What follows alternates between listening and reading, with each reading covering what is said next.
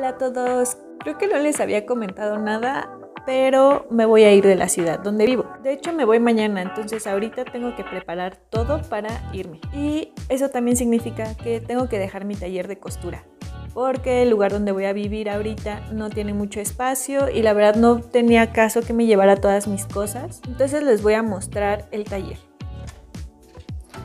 Y este es el gran espacio.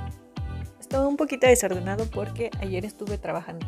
Pero bueno, este stand lo ocupo para colocar telas o materiales variados o retazos de tela. Acá arriba pueden ver los patrones. Este otro mueble es como para accesorios este, varios para costura, eh, cajas con material, las bobinas, etc. Y de este lado tenemos un intento de makeover en la pandemia del taller. En teoría esta pared era para colocar todos los hilos y para colocar los patrones colgados, pero pues no se hizo después. Mi mesa de trabajo con mis dos máquinas y pues el burro de planchar y el maniquí que siempre les muestro. Como ven, pues no me va a poder llevar básicamente nada, no me va a poder llevar mis máquinas.